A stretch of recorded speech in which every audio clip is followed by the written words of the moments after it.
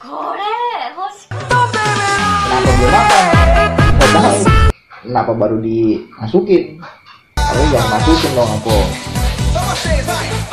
debat pikir wes asli ketemu sama siapa selalu begitu ya selalu selalu berdebat kusir karena debat kusir itu kita suka karena kita tidak suka kalau kita dem- tenang tenang berdamai damai itu maunya debat gitu hah bingung dah kata siapa ya orang dulu makan apa sih kata.